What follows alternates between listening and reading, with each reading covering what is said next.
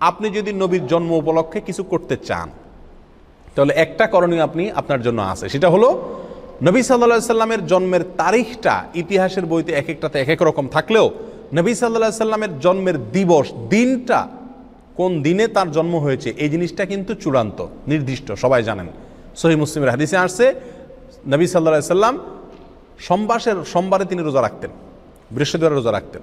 তো সোমবারের রোজা প্রসঙ্গে তাকে জিজ্ঞাসা করা হয়েছিল, আপনি কেন রোজা রাখেন? তিনি বলেছিলেন যে দাকা ইয়মন তুফি এটা এমন একটা দিন, এই দিনে আমার জন্ম হয়েছিল।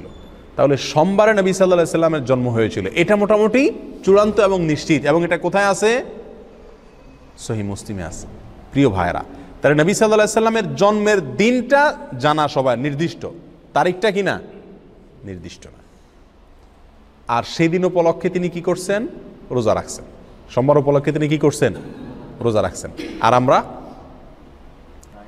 আমরা আরও রবিউল উপলক্ষে মিলাদুলনবীর নামে মিজিলাফি, মিষ্টি, খিচুড়ি, যত যা আছে বিরিয়ানির প্যাকেট আরও মিলাদ পড়ে বেশি বেশি করে খাই। নবী সাল্লাহ সাল্লাম তার জীবনের দিনটি উপলক্ষে তিনি রোজা রাখছেন, খানাই ছেড়ে দিয়েছেন আল্লাহ কাছে শকর আদায় করছেন। আর আমরা ওই দিনে আরও বেশি করে খাই। সম্পূর্ণ উল্টা হয়ে গেল না? আল্লাহ আমাদেরকে বোঝার তফিক দান করুন। প্রিয় ভাইয়েরা, তাহলে নবী সাল্লাহ সাল্লামের জন্ম উপলক্ষে যদি আপনি কিছু করতে হয় তাহলে বছরে একদিন না, প্রতি সপ্তাহ করতে হবে। সেটা কি? সোমবারে রোজা। প্রতি সপ্তাহ করতে হবে এবং সেটা কি? সোমবারে রোজা রাখতে হবে। আপনি বছরে একদিন ফুর্তি করবেন, আর জিলাফি মিষ্টি খাবেন, খিচুড়ি আর বিরিয়ানি বিতরণ করবেন, এর কোনো সুযোগ ইসলামী শরীয়তে নাই।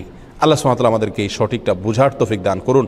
আল্লাহ আমাদের সকলকে দিনকে দিন হিসাবে গ্রহণ করার, হককে হক হিসাবে বুঝার, বাতিলকে বাতিল হিসাবে বুঝার মতো সেরকম শক্তি আল্লাহ তালা আমাদের সকলকে দান করুন। জাকমুল্লাহ ওয়াহুদ আওয়ান আলহামদুলিল্লাহ আলমী